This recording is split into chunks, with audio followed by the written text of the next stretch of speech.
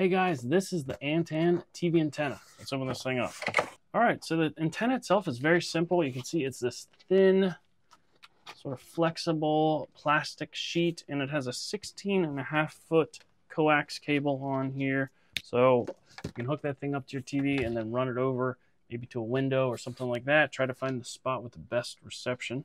Uh, they send three 3M double-sided sticky strips if you want to use that to stick this to a wall somewhere. And they also send two thumbtacks. And if you look closely, there are two holes in this if you want to thumbtack this to something to hold it up. So why don't we get this thing uh, screwed into the back of the TV and we'll try it out and see. Uh, we are probably a half an hour away from two small cities and two hours away from a couple big ones. So we're not really close to anything. So I'm curious to see how well this little thin floppy sheet actually works. So to hook this thing up, you're just going to find the coax connection where you would typically plug in your cable box or if you already have a TV antenna. But at the end of this just screws right on to that and that's all you have to do to hook this thing up. Doesn't take any electricity or anything like that. All right, once that's hooked up, you're going to want to find a place to put the antenna. So my TV's in the middle of the room. We're not near a window or anything like that. So I might try to hide it behind the TV here and we'll see how good of reception we can get.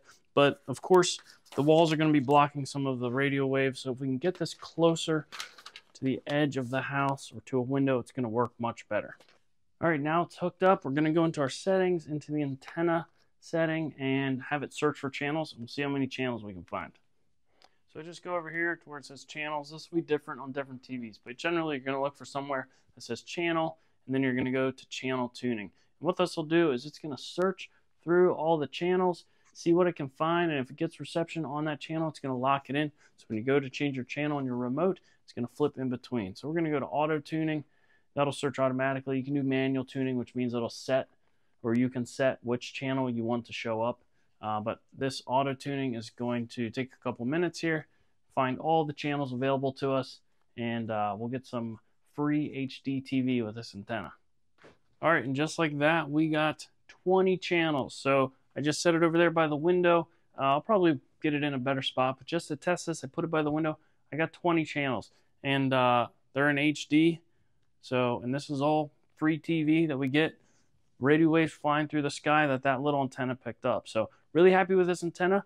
Uh, I mean, I didn't even know I could get that many channels here. So that's awesome. So if you're looking for a good antenna that works really well, this is a great option.